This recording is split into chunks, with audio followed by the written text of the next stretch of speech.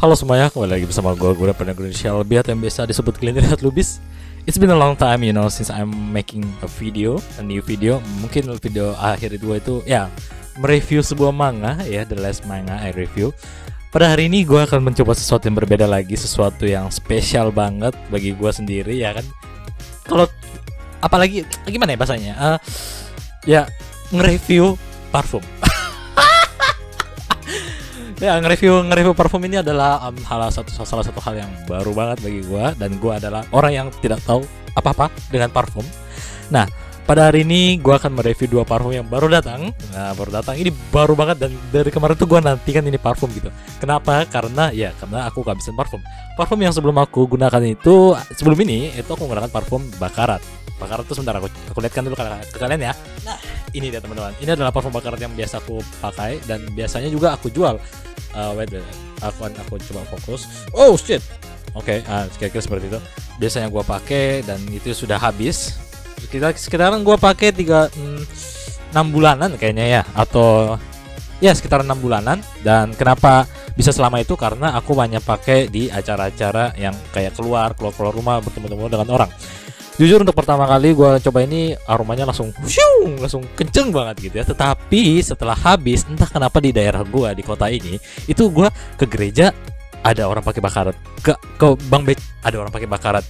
Di dalam mobil ada beberapa pendeta itu aromanya bakarat gitu. Jadi gue rasa well I'm done with this perfume. So today I'm buy this one, I bought this one, uh, uh, this two ada ada dua parfum yaitu uh, parfum apa Versace yang biru, Versace uh, Eros dan Versace yang merah yang di mana Eros Flame ya, Eros Blue dan Eros Flame. Nah, langsung saja kita unboxing teman-teman. Oh ya, kebetulan aku ada gunting. Uh, mungkin kita speedrun ya, speedrun. Belum aku buka sama sekali teman-teman ya, sekali untuk jadi bukti nanti ya. Kalau gua rasa ini packingnya sudah aman banget karena dipasang bubble wrap yang begitu banyak. Jadi untuk kemasan mungkin aman di dalamnya tapi gua nggak tahu ya. Wait. Jadi di dalam bubble wrap ada bubble warpnya lagi teman-teman. Dan ini dia kemasannya um, cukup simpel untuk dua parfum. Beratnya juga ya kira-kira sekitaran sekilo ya teman-teman ya. Gua buka, oh pelan-pelan nih teman-teman. Be gentle. Oke, oke. Okay. Oke. Okay. Oh, shit. Iya, packingnya kelihatan simple tetapi datang-datang aman gitu loh. Gue lihat datang-datang nggak penyok-penyok nggak.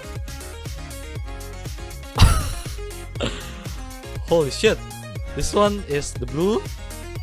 Uh, itu yang biru dan ini adalah yang merah teman-teman. Ya. Oh shit. Kenapa?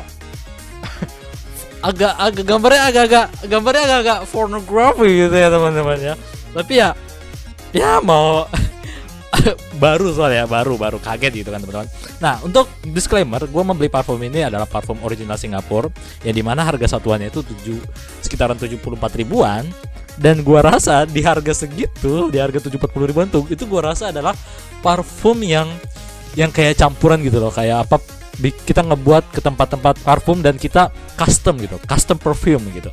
Dan gua rasa itu datangnya dari situ gitu. Kemungkinan gitu ya. Tetapi di sesuai deskripsinya dia mengatakan bahwa ini adalah original Singapura ya. Kenapa gua beli original Singapura? Ya karena gua I'm broke. I don't have money. nah, dan ya tanpa banyak bahasa basi tanya tanpa banyak bahasa basi kita langsung cobain saja dua parfum ini teman-teman. dan ya sebenarnya kemarin itu gua uh, apa ya? Gue emang sebelum bakaran gue habis itu gue nyari-nyari kayak apa sih selanjutnya parfum yang gue mau coba? Dan gue ketemu nih Versace Versace Versace Versace. Versace is Versace Versace yang merah dan biru dan gua rasa merah ini warnanya kayak memberikan kesan yang lebih menawan gitu, lebih maskulin gitu dibandingkan yang biru karena yang biru ini gua rasa adalah parfum yang lebih ke arah akuatik gitu karena biru itu kan di di dilambangkan itu sebagai warna-warna akuatik. Contohnya apa? Contohnya seperti Bellagio ini teman-teman. Nah, tapi ya kita langsung coba buka yang merah, yang merah dulu ya teman-teman ya. Gua akan coba buka. Oh, ini gue beli di harga 140-an teman-teman dan ya untuk masalah packing tuh packingnya oke okay banget oh ini packing aslinya Ini packing aslinya dan ini packing kayak showcase-nya gitu loh. Gua buka dulu. Uh. mewah banget anjir. Sumpah, Pak, mewah banget. Oke. Oke. Wah, ini ini cukup berbeda dengan bakarat. Biasanya, biasanya kalau bakarat ini, bakarat ini kotaknya aja datang-datang sudah kotaknya itu sudah aromanya nyenget banget gitu teman-teman. Tapi ini kayak kotak-kotak kardus, nggak tahu semoga gua nggak nggak kena kena penyakit apa apa gitu ya setelah mencium-cium gini ya. Dan ini adalah parfumnya 100 ml dengan harga 745 740 74 745 kok 745 74 74 ribu gitu. Ini adalah kemasannya teman-teman uh, khas apa apa uh, casingnya uh, luarnya gitu ya. Ada tulisan Versace dan ada lambangnya lambang autentiknya gitu ya. Dan kalau kita buka gimana? Wah gimana nih ini putar uh. Oke belum ada aromanya sama sekali teman-teman. Tapi ada yang aneh dari tutupnya nih ini tutupnya kenapa ya? Oh oke. Dan tutupnya juga ada nggak lupa melambang apa ada ada lambang singanya gitu. Ada lambang orang ya teman-teman ya. Oke jadi gua coba semprot dulu. Belum ada belum ada sama sekali. Oke gua coba. Bruh, bruh, bruh, bruh, bruh, bruh.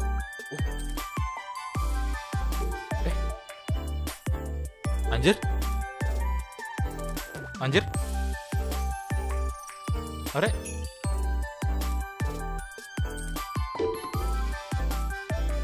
Coba tempat ya Wait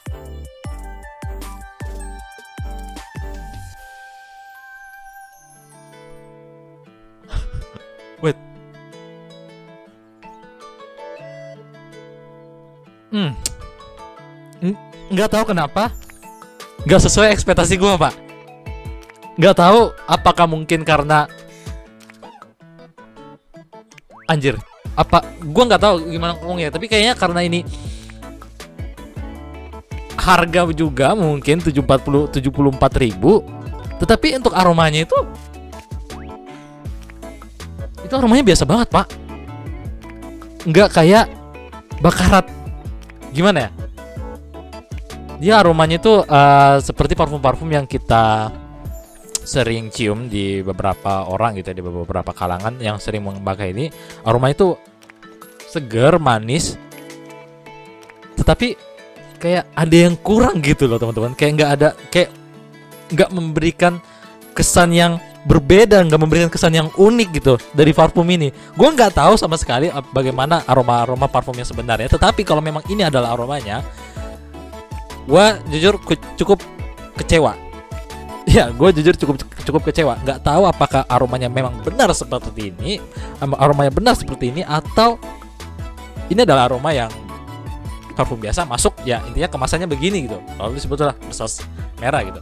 Tapi gue gue yakin banget kalau dari ratingnya ya gue yakin banget karena ini memiliki rating yang cukup bagus teman-teman yang cukup cukup cukup eh, bagus di beberapa orang gitu orang-orang juga memberikan ulasan yang ya bagus gitu kan harganya juga kejangkau tetapi bagi gua sendiri Nah, coba sudah, sudah, sudah. Nah, ini ada 90 90 yang kejual dan ulasannya 4,8. Di deskripsinya menuliskan kalau Eros Flame ini adalah salah satu favorit parfum dengan aroma segar maskulin yang sedikit spicy membuat aura kita sama ketika memakai parfum ini jadi lebih berwibawa. Tetapi ya emang segar sih, tapi no man, kayak ada masih ada yang kurang gitu loh. Bagaimana coba kita coba yang biru ya teman-teman ya.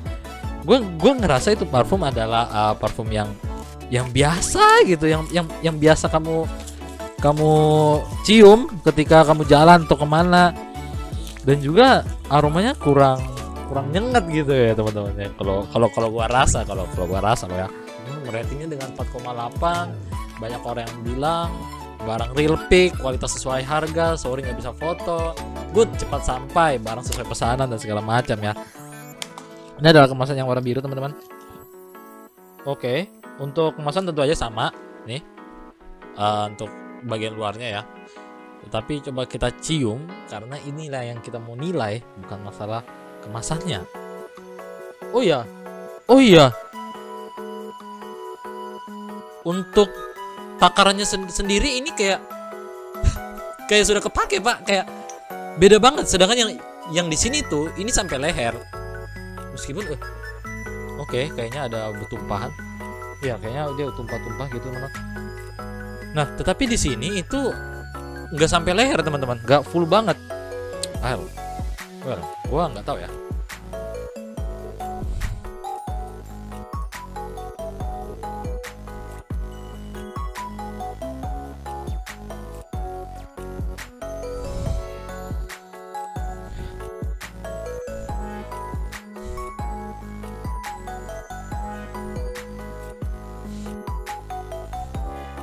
Oke.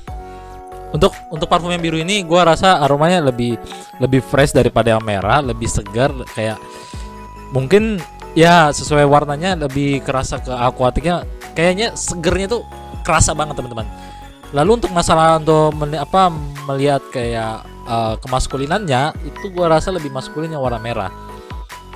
Ya, maskulin yang lebih warna merah karena aroma-aroma mewah ini seperti cukup cukup cukup mewah ya, cukup mewah hanya saja sering kita cium gitu loh.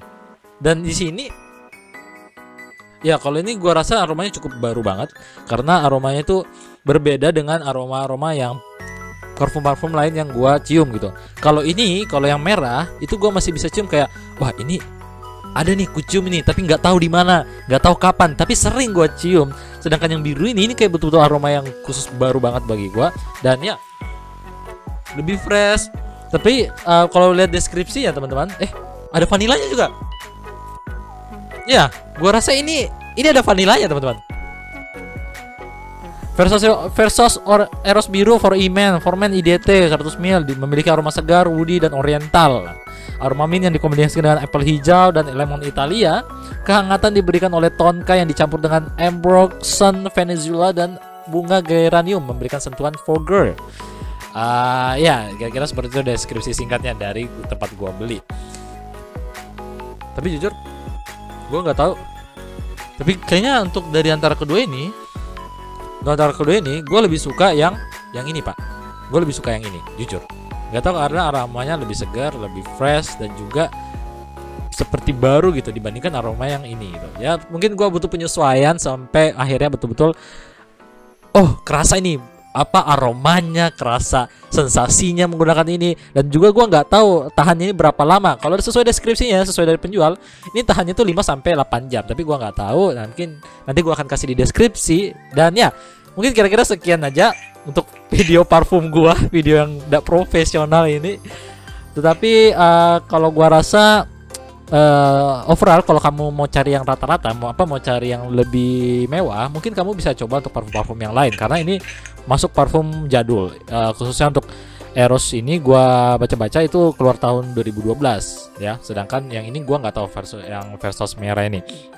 Ya kira-kira sekian lah di episode parfum review parfum kita eh, dan gua rasa gua harap nanti ke depannya gua mendapatkan parfum yang seperti Bakarat. Hanya saja Bakarat yang yang versi lainnya gitu yang memiliki aroma khas aroma khusus aroma yang nggak pernah kita cium gitu di di di sepanjang kita hidup gitu teman-teman.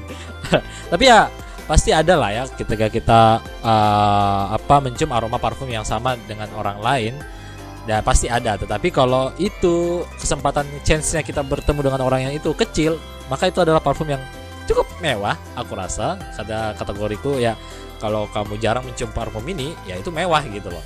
Dan ya terima kasih semuanya. Sampai jumpa di episode selanjutnya dan ya stay healthy and stay safe